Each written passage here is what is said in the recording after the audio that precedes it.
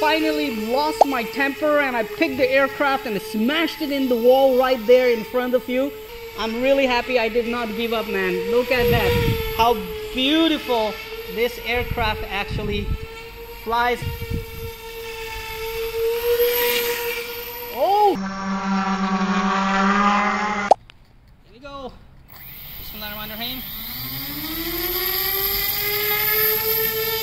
Yeah, with the nose heavy. It's actually, look at that. Oh.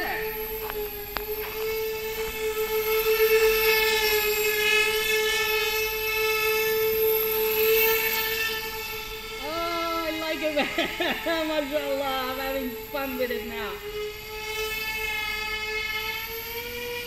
Look at that. Beautiful, right?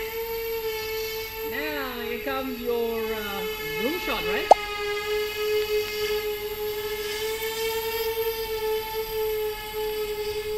Man, these things, bicopters, they have one sweetest stance. Sweetest stance, I can tell you. And the way it actually blows, look at that. It actually blows the dust. Look at that.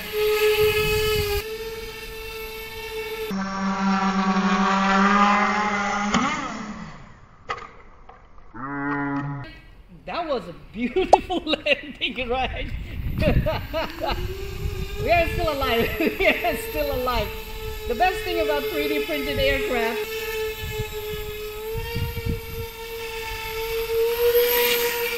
Oh, it is fast, man. Look at that, mashallah. Oh.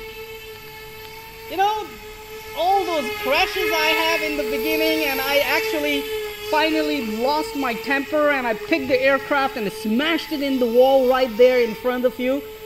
And I said to myself, you know, give it up. This is not going to work. Let's give up this project. But then, you know, after one day or two, I rested and I told myself, you know what?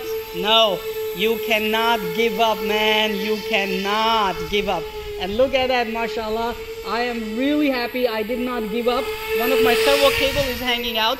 I'm really happy I did not give up, man. Look at that. How beautiful this aircraft actually flies and it is absolutely a fun to fly aircraft, right?